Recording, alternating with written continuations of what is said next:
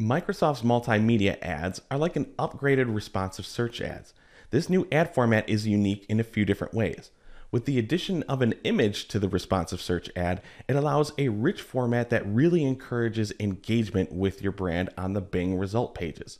Also, only one multimedia ad can be visible at a time, so your brand has an opportunity to really stand out over the competition. In this video, we will cover almost everything that you need to know about multimedia ads. But before we dive in, I want to give you one warning. This feature is not available in every single account. We wanted to give you that warning so at least when you're prepping to prepare it, you know exactly where to begin. Multimedia ads are ads. So it's no surprise that we need to go into the ad section in Microsoft Ads to start building this new format. There's a lot of ads I tossed at you, but I hope you get it. So I'm just going to pick one campaign, then I'm going to choose one ad group, and then I can click on ads and extensions. I know you're seeing pause keywords, irrelevant keywords. This is not an actual client account, I'm just using it for the sake of this demo. But to create a new ad, we need to click on the, you guessed it, create ad button. When creating your new ad within Microsoft Ads, you need to choose the ad type. The default option will be responsive search ads, but if we go over to the arrow in the menu and click on it, there we see options to create expanded text ads, app install ads, and then the one that we want, multimedia ads. As I said in the intro, multimedia ads are like taking responsive search ads to the next level. We can already see in the preview what an image can do to the text ad experience. So for the rest of this demo, I'm going to go through the multimedia ad creation process, assuming that we want to run an ad for Paid Media Pros. And as we start making changes to this ad, you'll be able to see how those changes affect what your ad could potentially look like. The first step, it's an easy one. Put in your final URL. If you're worried about parameters, this section will use auto tagging if you do have that enabled at the account level, but there are also tracking templates that you can use, and you'll find that in the advanced section at the very bottom when creating this ad, so we'll get to it before we save it. After you have your final URL, let's go over to images. That is pretty much the standout feature of a multimedia ad. So I'm going to add a few images, and then we're going to talk about each one. Okay, I added four images, and I did four specifically, because if we scroll down, we see that there are four different previews, and I went through all of them pretty quick. Now, the four images I added were for each of these aspect ratios. You need to choose at least one image with the 1.91 by 1 aspect ratio and one image with the 1 to 1 aspect ratio. This will help Microsoft be able to make these ads more responsive to fit certain placements. If I go back up, now we can see in the preview where the image fits, where our headline is going to be, there's our display URL. There's our ad text or ad descriptions, however you want to call them.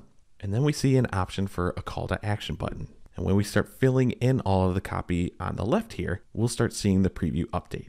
If I go over to recrop, I can click and drag where I would want this to appear. Now, I understand this isn't the best image to use for this, and my head's getting cut off, and we know from the preview that's where the text and the call to action button will be, and that's fine. If you have an image that's a little bit larger than the aspect ratio like we see here, you can either try to adjust it, and I just moved it up and down. You can also click on a corner and shrink it within the same ratio. But if you can't make the image look good, it's just the proof that you need to go and create one that's going to better fit the specific ratio. So I'll save this one. If I go and click on a different ratio, I'm saying, do I want to include this one? Yes, I do. So if I'm looking at this particular aspect ratio, this one looks pretty good. I don't have to recrop it. If I want to go down do I want to include this aspect ratio? Yes, I do. And then for this one, I want to choose the actual square image. So I can look at recropping it. That is exactly the square. You see it fits exactly how we saved it. So I'm going to leave that one as is. And then going to the 1 to 2 ratio, I want to include this one as well. Choose this specific image for it. And there we see one. I try to do it with a taller image, but we clearly see it's cutting off the words. So this is a bad image to use. I can either exclude the specific ratio or create a new one. For the sake of this demo, I'm just going to leave them all in. Let me go back to a more common ratio so we can see in the preview. So I know I uploaded four different images, and I did that to show you what each actual size would look like in the proper ratio. I'm going to scroll back up a little bit just so we can start adding the text portions to these ads. You can see in the short headline, you get up to 30 characters, and you can have up to 15 headlines. Next, you get up to 90 characters for a long headline. You can add up to five long headlines. Next is your ad text or descriptions, also 90 characters. In this, we get up to four descriptions. And there we see a business name. So within these four fields, I'm going to add in a variety of each. Then I'm going to jump ahead a little bit so you don't have to watch me do it. Okay, I added a few headlines, just one long description, a couple ad text. Some of these I just added myself or just took little wordings from our website. But if you're running out of ideas, whether it's a headline or ad text, you can click on the add link under each category. And if you click within the field, there will be some recommended headlines. Now we can clearly see not all of these are accurate. We don't do PC videos. And we don't want to tell people that they can get paid for watching ads. But I understand what Microsoft is trying to do, and a few that were added within each category were from recommendations. So some of them are going to be useful. If I trash that one, I'm going to skip the long headline, go down to ad text. Same thing with the descriptions. The top one that we used was copy we pulled from our website. The second ad text option, calling out find out more, that was one of the recommended ad texts. There we have our business name, which is a mandatory field. Then you can look at a mobile URL. If you want to send users to a different experience, depending on what device they're on, you can do that. I'm going to leave it as is. And then we see the call to action options. Because if I scroll back up, this gray button right here is telling me, please select your language first. So I'm going to leave it as English. And then we have the option to choose action text. This may seem a little bit familiar if you are using the action extensions already. And we do have another video talking about action extensions. You can watch that one here. But if we click on it, we have a variety of different options to choose from. This is a ton. I go a little bit more in depth about these in that previous video, but since we are a video one, I'm going to select watch now. So then if we go back up to the preview, this is what one option of a multimedia ad could look like if we chose to run it. Understand this paid media pros is just one headline. This text calling out the two new videos being released, that's just one ad text. The more variants you add, the more options that will run within this particular ad group.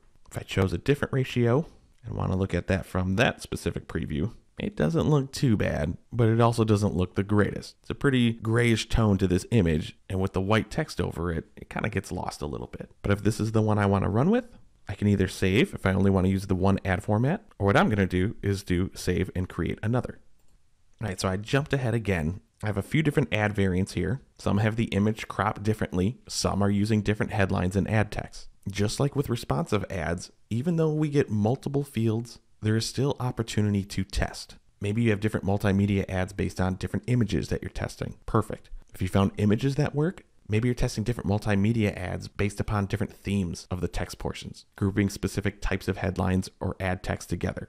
Now, I know I just filled in certain things just to get the ad saved. I get it, this is a demo. But we do recommend trying to make your headlines as unique as possible Try not to be too repetitive within your headlines and ad text. Try to think of all the different combinations that could appear, and would certain headlines match with certain descriptions or ad text, vice versa. Think of all of those scenarios. And I'm going to go over, click on a specific campaign, and then I'm going to go down to settings. If I scroll down a little bit, we see this section for other settings. And here we see multimedia ads. If you find out that multimedia ads perform better in certain cases, you can add campaign or ad group level bid increases. And yes, if I do scroll over, it's just increases. You cannot decrease this amount. So if I go over, I typed in 10% on purpose because you have to increase within the ranges of 20% or 900%. Again, this can only be done at the campaign or ad group levels. Another feature which is newer and also not available to every account at this moment is enabling product offers within your multimedia ads. So you'd have to have a merchant center store created with a feed uploaded. Then you can look within that store, choose all products, look under your filtered products, choose the proper country, and then go and create a new multimedia ad that could start showing the product information. As you can see, it is fairly easy to do. If you've been running responsive search and display ads for a while, it's extremely similar. Again, this feature is not available in every account yet. It's still rolling out. So if you don't have it, you might just have to wait a little bit. And Microsoft has also announced that new features will be coming to the multimedia ad format. One of the new features will be videos. It's probably going to tie in a little bit to the video extensions, which we already made a video on right here. And I will commonly say images and videos are going to be more engaging than just a text ad format. So this is another way that Microsoft Ads is differentiating themselves from Google by giving us more options to engage with our target audience. It was a fairly quick run through, but if you have any questions on how you can create or implement these within your campaigns, please let us know in the comments below. Thanks for watching our video. If you found it useful, give us a thumbs up below. We release a new video at least once a week, so if you want to see more from the Paid Media Pros channel, be sure to subscribe.